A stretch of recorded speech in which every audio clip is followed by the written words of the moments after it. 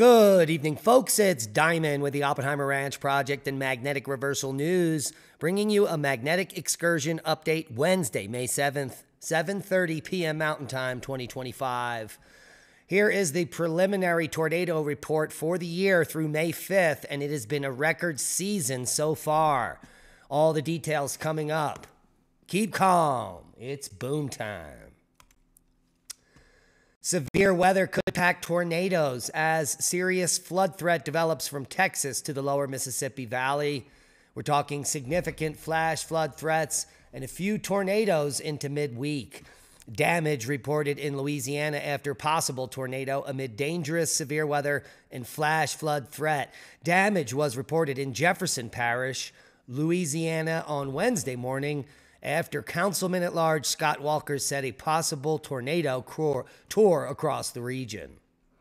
It, in fact, has been the worst tornado season since 2011. Two states top the list. Let's take a look at the stats. Here are the preliminary reports through May 5th.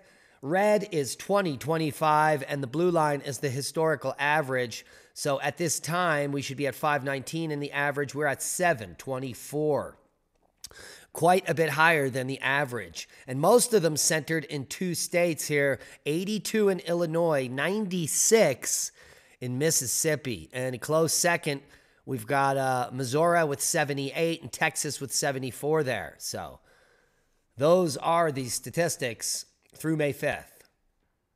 And that is for a total of 710 tornado reports so far. Snowfall analysis from the last 72 hours shows that western storm, which has now come to an end, and the snowfall it left in the higher elevations. Big winter here, southern Colorado, northern New Mexico, picking up up to three feet of the global warming goodness. And a live look at Tornado HQ. Not a lot of active pattern anywhere in the U.S. We've got some light precipitation throughout the center of the U.S., no severe weather really happening there. And in the south here, some rainstorms moving offshore here uh, in northern Florida. And here is the full forecast heavy rain and flooding along the central Gulf Coast. You can see those warnings and watches out in the green.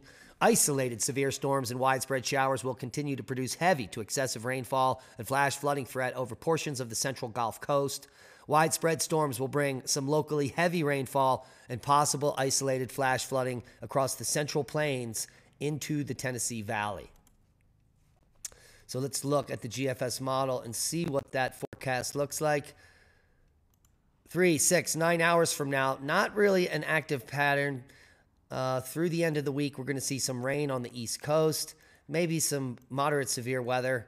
It is not until early next week that the severe weather looks to be popping up there across Florida.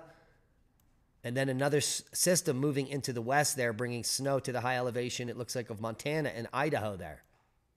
So let's take a look at the total snowfall for the period. Friday, Saturday, Sunday, Monday. We're going to have a little bit more snow down here over the next few days. Uh, and then that next system moves in early next week Monday, Tuesday, Wednesday, Thursday, Friday, Saturday, Sunday. So more snow coming for the West. It's not over, kids. Seismic update. Pretty moderate day of seismicity worldwide. Looks basically normal activity. 5.0 on the mid ocean ridge here, most recent quake. We've got a 3.0 in Caliente, Nevada. How do you like that? Worldwide volcano news.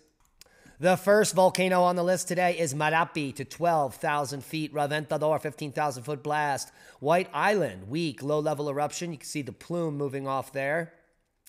Poas, 10,000 feet. And we have another lava fountaining episode. The 20th lava fountaining episode happened uh, in the last 24 hours. We live streamed it over on Rumble and it's fantastic. So we'll leave you the link below if you want to go watch that live stream. Uh, let me blow this up. Absolutely spectacular lava fountaining event has come to an end. And if you want to go watch some of that footage, it's on Oppenheimer Ranch Project over on Rumble. Fuego to 16,000 feet, Poas to 10,000 feet, Sangay to 24,000, Santiaguito to 14,000, Semeru to 15,000, Dukono to 8,000. Ebu, 7,000 foot puff there. Reventador, frequent volcanic ash. The end of the 20th lava fountaining episode. As I said, uh, Poas on the list. Ebu on the list to 7,000 feet.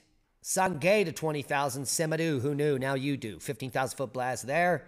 Reventador, 16,000 foot. Wrapping up the list is Ebu with the 7,000 foot puff. And check out the Kilauea footage. Quick look at space weather. Those sunspots that are facing us uh, and now moving away are, well, not doing much of anything. Low level C flaring. Three day geomagnetic forecast all quiet till May 9th when this coronal hole plasma stream may kick us up into G1, geomagnetic storm. Bad news an old Soviet Venus lander is falling to Earth, and this is no ordinary space junk crash. Uh, and here's why it is a Venus lander. I don't know if you know anything about Venus, but it's really hot and it's designed not to melt. So this is not going to melt when it re enters like most objects. And this is going to hit the ground. And they don't know where yet or even any possibility except between 52 degrees north and 52 degrees south. Um, and that is most of the earth. Because most of the earth is uh, ocean, it may hit the ocean, but it's it could hit anywhere, uh, and it's falling soon. When is reentry? around May 10th, so just a few days.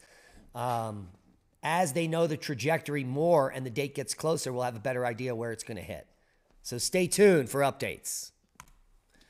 And records have been shattered. Scientists extract 1.2 million year old climate record from Antarctic ice.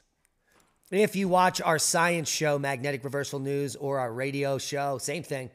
Lee and I have been talking about this. There is a new section of ice that they found in Antarctica that goes back to 1.2 million years. Holy macaroni. And they're working on what that means for the climate record right now. And if you didn't know, we've got an amazing interview coming up in just a moment, few moments on this channel. Michael Button. Uh, he is into ancient civilizations. He has a degree in that, ancient history. And the question that we pose is what if we're not the first human civilization?